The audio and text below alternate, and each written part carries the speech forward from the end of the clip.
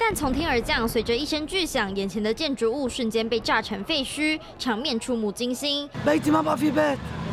ما في بيت ما في بيت ما بعرف هي معجزة احنا كيف طلعنا من تحت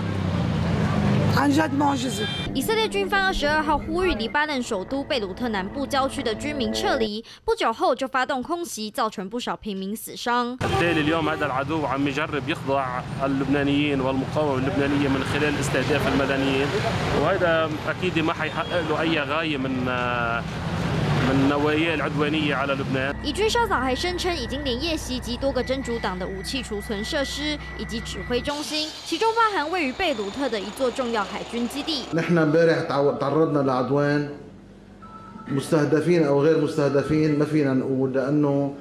للاسف العدوان الاسرائيلي ما عنده خطوط حمر 另一方面，黎巴嫩当局二十二号表示，以军前一晚对贝鲁特南部拉菲克哈里里医院周边发动空袭，造成数十人死伤。而这家医院是黎巴嫩境内最大的公共卫生机构，让外界质疑以色列为了取得胜利，正在不择手段的狂轰滥炸。三立新闻全片报道。